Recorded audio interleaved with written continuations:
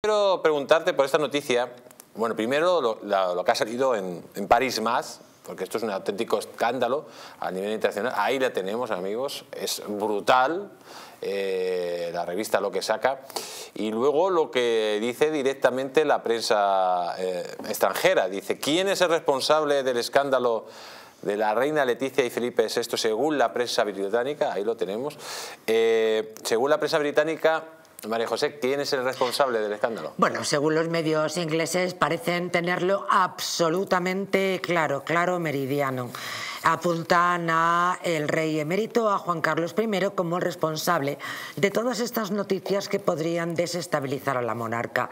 ¿Alguien puede preguntarse por qué? Seguramente no, pero si hay alguien, aquí estamos nosotros para contarlo. Como todos saben, pues el rey emérito tuvo que exiliarse con sus comillas, a los Emiratos Árabes no son pocos los que apuntan a la reina consorte como la responsable. De hecho, parece que el rey emérito tuvo que marcharse ante las posibles amenazas de ser procesado.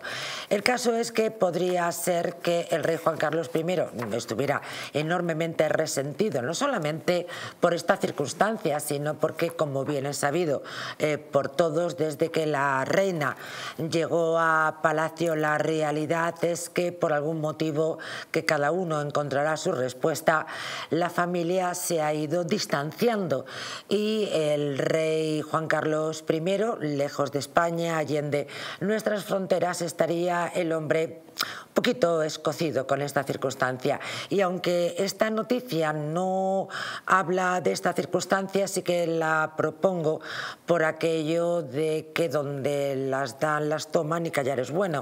Recordemos que también se apuntaba a la reina Leticia en su momento todas las noticias que salieron en torno a las infidelidades del rey emérito con eh, Corina, esa individua que por cierto alguno tendría que preguntarse verdad eh, por qué tuvo esa relación el rey emérito.